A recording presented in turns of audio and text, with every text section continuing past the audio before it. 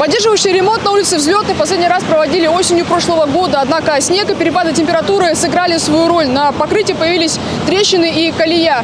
В мае этого года подрядчики приступили к поддерживающему ремонту. Жалоб много на эту улицу. И плюс производится улица выборная по безопасным качественным дорогам, то есть в комплексе. Это ямочный поддерживающий ремонт.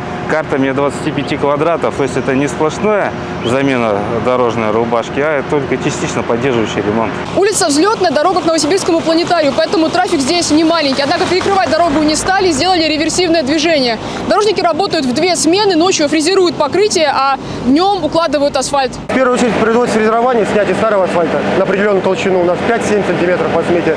Потом розлив эмульсии производится. Ну, перед розливом очистка, грязь, от грязи, от пыли. И потом укладка асфальта и уплотнение катками. Пока используется старый тип асфальта B1 классическим методом. С первого числа переходит на новый тип асфальта А16. ГОСТ меняется, ну, лучше качество, износ меньше. У ямочного ремонта вообще 2 года гарантия, а если полностью перекрытие 4 года. Теперь до 7 лет будет гарантия.